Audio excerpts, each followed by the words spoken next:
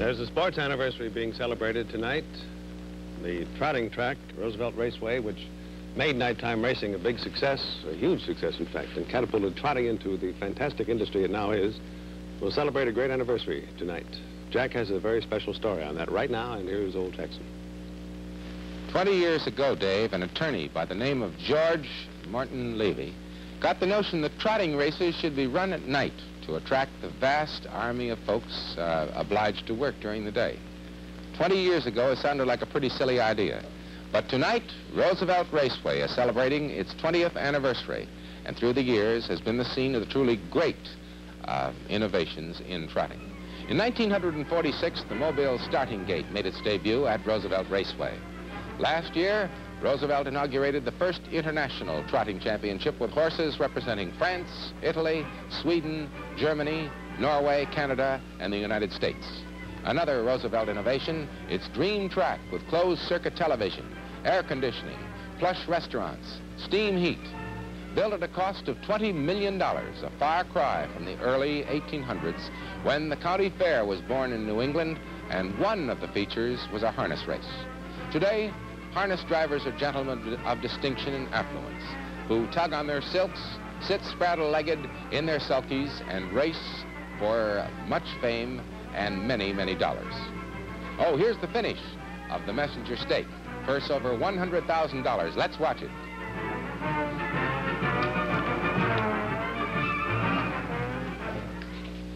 Well, today, there are 400 trotting tracks throughout the United States, and in people and in dollars, a few statistics add up to something like this.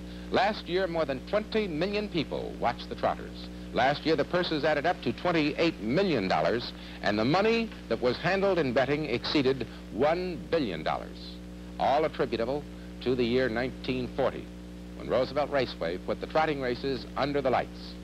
Let's go a little behind the scenes now and talk to one of the best-known personalities in sulky land, a top driver, Del Miller, a man who parlayed know-how and daring into a million dollars. And Del, it's mighty happy to see you here on today.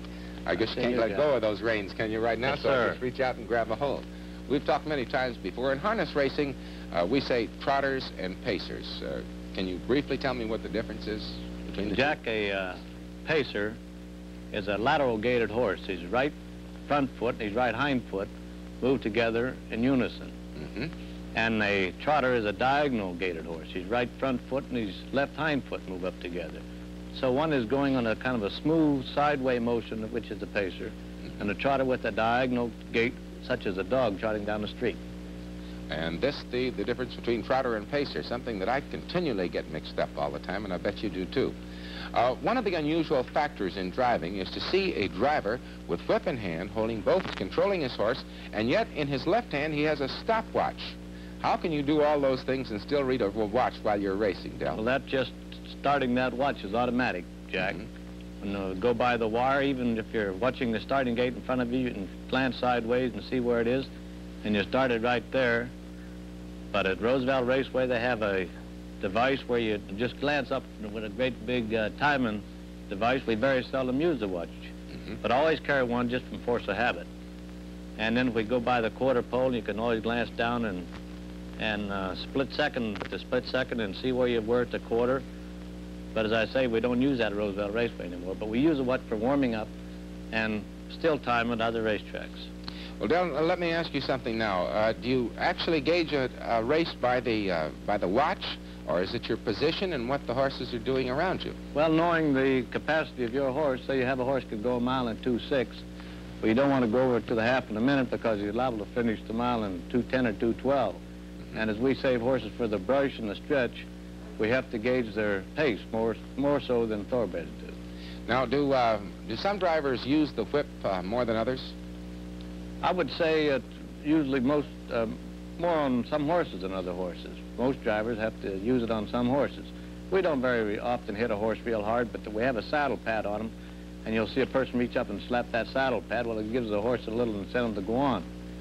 But Right. there is people, and I've hit some pretty hard too in a close finish. Mhm. 'cause you want to get on, there. on the other hand, you can make a horse break very easily and go off stride. Oh yes, if you hit them too hard, or maybe when you hit them, take a little too much hold of one side of their mouth, they might throw them off stride. What's the big, biggest hazard in driving, would you say? Well, those other seven horses around you, and when you're in close quarters, they'll get into your wheel, tramp into your wheel from behind, and when you're pulling out on a horse, you have to be awful careful that you have enough clearance with your horse that he won't tramp into the wheel in front of you. Actually, uh, a wheel can get right in here then, and, and if he pulls Yes, out, well, you'd be in real trouble. If I go to pass somebody, I want to be sure that I have enough clearance, because the judges have m- movies and watching, and if you happen to hit somebody like that, they can disqualify you.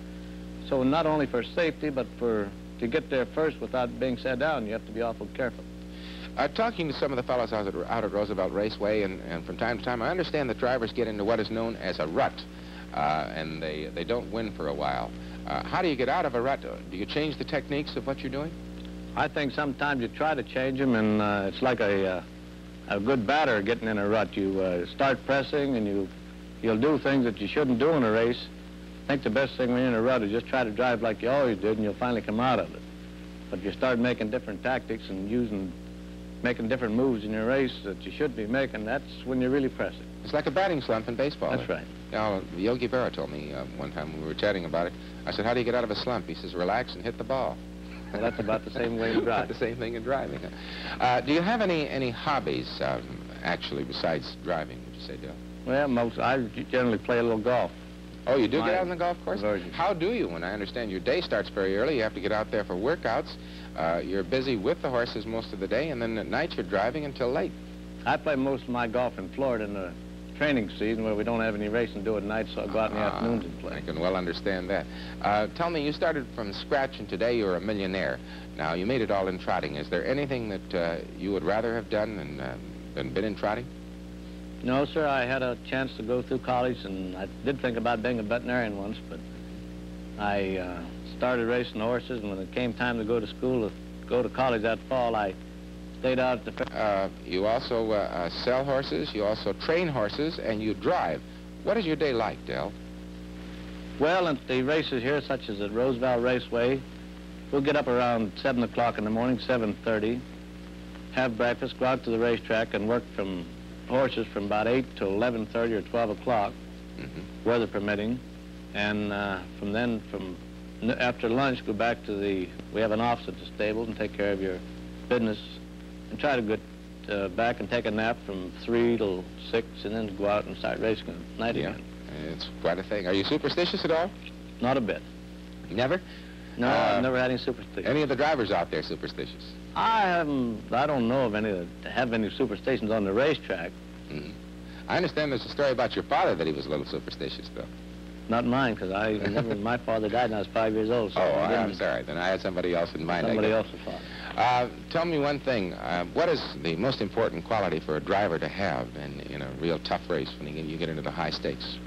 Well, I think that one of the main things is not to get excited and, and not be nervous uh, just because you're driving in a big race.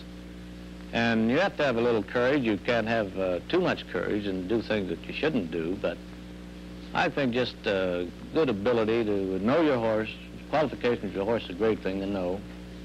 And use the right speed at the right time. And go the shortest way around the racetrack, too. That's, that's one of the main things. Del, thank you so much for being our guest. I'll be seeing out at Roosevelt and uh, watching some of the fabulous driving that you do there during the season. Thank you so much for being our guest at the opening of, uh, of Roosevelt Raceway, which is today. Del Miller, the top harness driver, will be on the scene tonight when Roosevelt Raceway celebrates its 20th anniversary as a trotting track right here on Long Island. This is Today on NBC.